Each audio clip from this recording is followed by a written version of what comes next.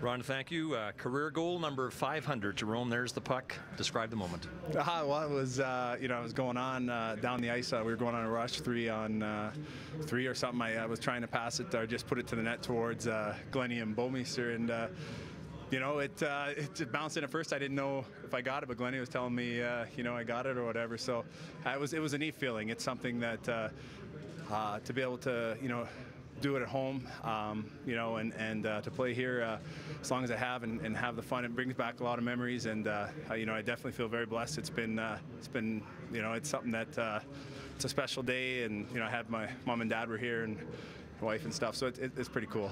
You'll take him any way you can get him, but as you say, it was uh, intended to be a pass, went off a couple of skates. Did you imagine such a milestone goal being scored in a prettier more spectacular way? No, I didn't really know what to expect, but I figured, you know, even if it was. Uh, an empty net, I probably would have taken it. So that's better than an empty net. And uh, um, you know, along the way, uh, I, have definitely scored a, a, number of ugly ones or, or good bounces, and uh, that was that was one of them. And um, you know, it was uh, teammates were great, you know, and it, it's something that uh, the night uh, being able to be part of a win and, and uh, be at home here, it's something I'll uh, never forget. Only eight players have ever scored 500 with the same organization.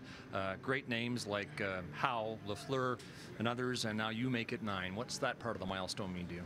Um, well, I definitely have to, you know, pinch myself. It's came into the league, started, you know, I never dreamed. I remember you know, you see watch TV and you see different guys, uh, uh, you know, get 500, and and uh, you never, you know, really never dream of me. Just thrilled to be in the league and, and trying to, you know, play hard and, and, score some goals. And it's it's hard to believe. Uh, um, you know how much time's flown, but I've been fortunate to, to be healthy and be in the lineup, play with some great passers over the year, and, and get some great opportunities. Let's go all the way back to uh, career goal number 100, October, I think, of 1996 against Kirk McLean. No one ever forgets their first goal in the NHL, but uh, only a rare few ever go on to 500. So which one's bigger?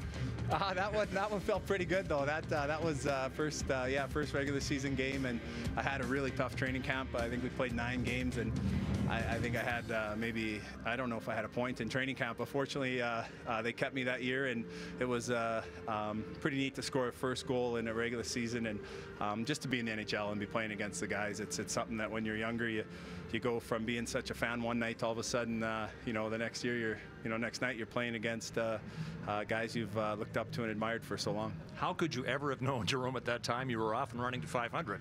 no, no, I didn't. I was thrilled to get one. I was hoping for two after that, so. Uh, no, I definitely didn't. And uh, um, no, it's it's been fun. There's, uh, uh you know, I, would like to play a, lot longer. and still uh, loving the game. Still, you know, feeling uh, feeling good. So hopefully play a lot longer and be a part of a lot more a lot more winning. Jarome, you've got all your goals in a videotape system that allow you to call recall each of them instantly, and you've admitted to doing that times past when you've been slumping, looking at occasional or great goals to see if you can learn from them. Did you do any of that in the chase to 500 the last week or so? not not really the last week or so. I was trying not to, to think of it too much. But yeah, um, our first uh, team uh, video guy, uh, Gary Taylor, gave me the idea my uh, first year just to, to, keep track of him. He helped me, he kept him, and, and it is something to look back on. But he also said for you know your family down the road, and and um, so use it as a I use it as a, a, tool and stuff. But it's you know one day, um, hopefully kids will watch, but I'll also probably uh, throw it back in the in the CD player myself or DVD player and watch a bit. It's it's fun for memories. Started so long ago, they're probably on Betamax, are they? oh, they've had to do a couple of adjusting. They might have started on VHS. That's right. How do you plan to celebrate number 500, Jarome?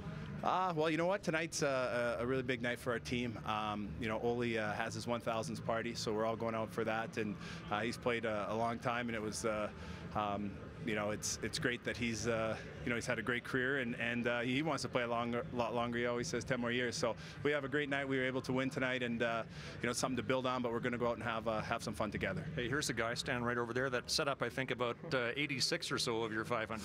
Yeah, yeah. I was fortunate to, to play with him. Uh, I don't know if he got enough credit. Looked like he was going to have to come out of retirement here.